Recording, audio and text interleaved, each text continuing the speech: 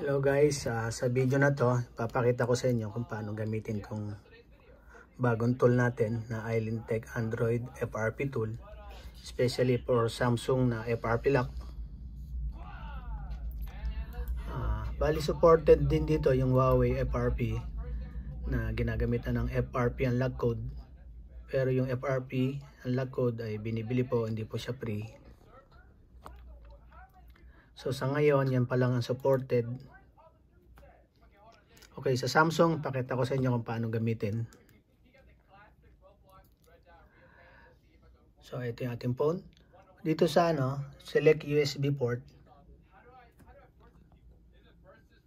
Ayan. Pag-click natin dito, hindi hindi lumalabas yung driver, yung port ng Samsung. Ano, nag-error siya. Hindi niya makita yung Samsung Android driver. So, pag ganyan, open muna natin ang device manager. Natin device manager yan.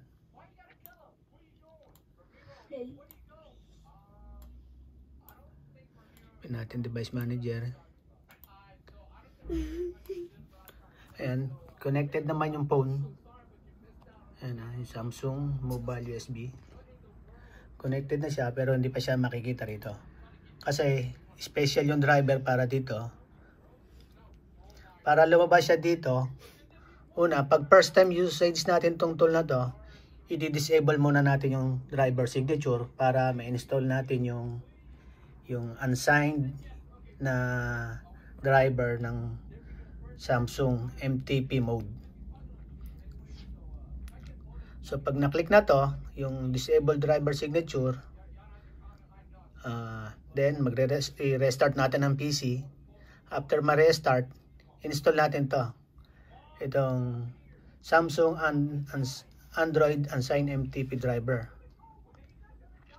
So pakita ko muna, wala pa yung driver, oh, hindi pa lumalabas dito. So pag ano, in-update natin yung driver niya, click natin update browse and make wala pa hindi pa lumalabas dito yung Samsung Android na driver dapat lalabas siya dito yung unsigned not digitally signed na driver so pag ganyan first time use, use natin click muna natin tong button na to install Samsung Android Unsigned MTP driver Click natin to.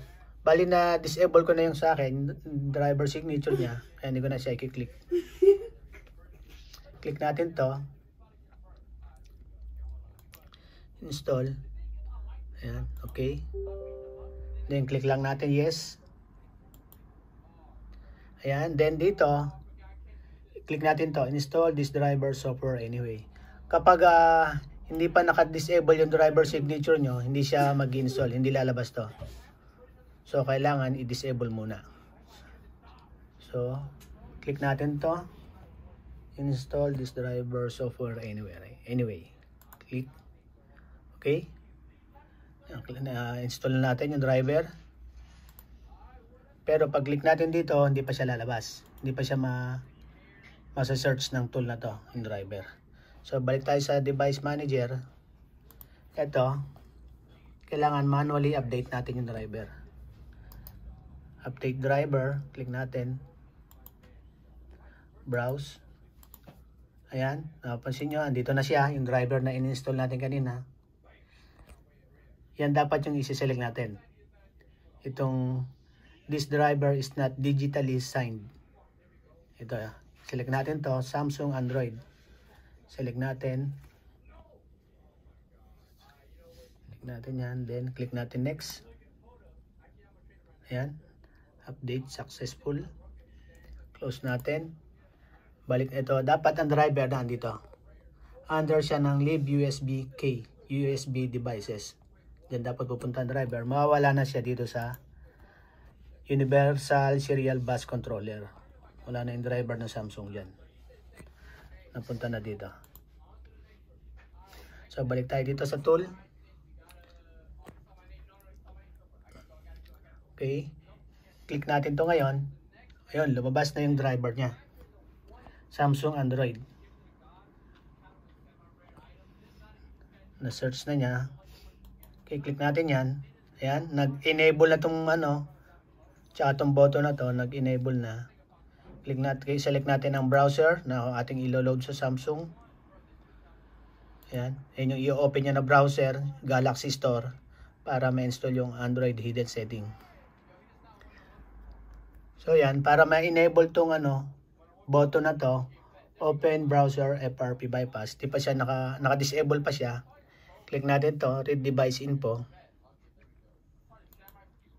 Ayan.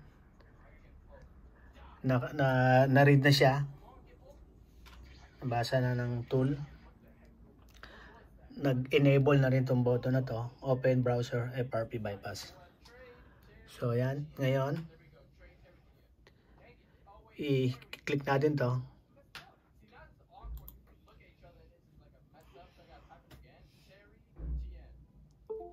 Oh, ayan, lumabas na yung yung nag-display na sa phone yung para may open yung browser.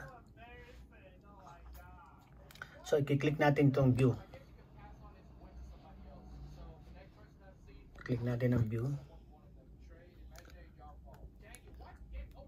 View.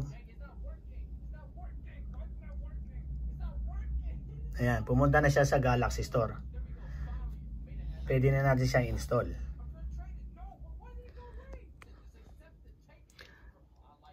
So sa ngayon hanggang dyan na lang muna, pinakita ko lang kung paano gamitin tong tool. Kasi may video naman na tayo kung paano mag-bypass sa pag nasa phone na. Pag na-load na yung yung browser, tsaka na-load na yung na, na, download na yung quick shortcut. So gagawa din ulit tayo ng full tutorial. Sa ngayon, hanggang dito na lang muna kung pinakita ko lang kung paano gamitin tong Island Tech Android tool. So guys, uh, hanggang dyan lang. Pag may tanong kayo, post lang kayo sa sa comment. Bali yung download link na to ilalagay natin sa video description. At uh, siya nga pala, uh, free lang naman tong tool na to. Free yan, walang bayad dyan. So guys, yan, hanggang dyan na lang muna. Maybe in the future, baka madagdagan ang supported nito. Depende, depende sa ano natin. Okay guys, sige. Bye bye. Salamat. Hanggang sa muli.